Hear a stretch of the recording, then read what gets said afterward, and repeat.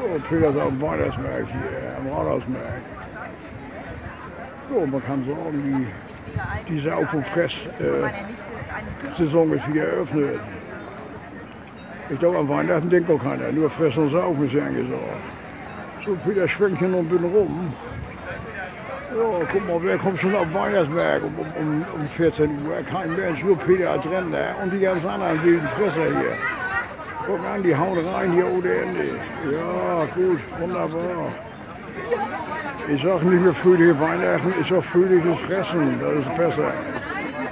So ist uns fröhliches Telefonieren, das ist alles okay, aber Jungs, wir müssen die Leute nehmen, die kommen, alles klar, gut. Ich wünsche einen, vier, vier, einen schönen vierten Advent und dann hauen wir rein und dann drei Punkte HSV ist gut. Jetzt kommen die Wilden hier, hör mal auf, wir wollen die Wilden hier mal aufnehmen. Ja, Lunge hier.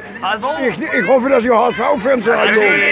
Nee, sonst gibt das natürlich Theater, da weiß ich, hau rein hier. Servus!